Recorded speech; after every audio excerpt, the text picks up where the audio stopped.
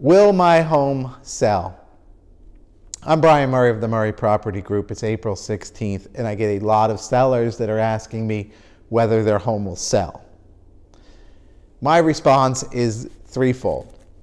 One, April is the new January.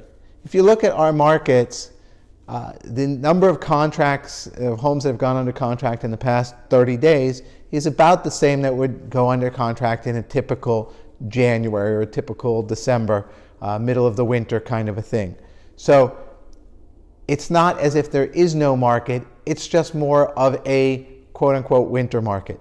The market, you could say, has shifted a little bit where when uh, everybody's out of quarantine, we're going to be more into a spring market, no matter whether that happens in the summer or uh, July, August, September. That's going maybe to be the new quote unquote spring market. Secondly, what homes are selling right now. And that's really vacant homes are selling and homes that have the right kind of marketing, that have a lot of technology behind them so buyers can make their choices uh, vis-a-vis uh, virtual tours and, and um, you know, real-time tours. Uh, the good news for a seller right now is that while buyers aren't actually out in your home, a lot more buyers are online looking at homes. And then lastly, is there a discount?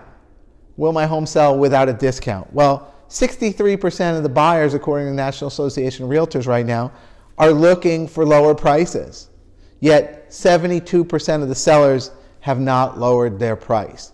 In markets like Hoboken, Jersey City, that number is even higher because you tend to have much more of an affluent uh, type of a seller and a buyer where the sellers can carry that home for a little bit longer without lowering the price.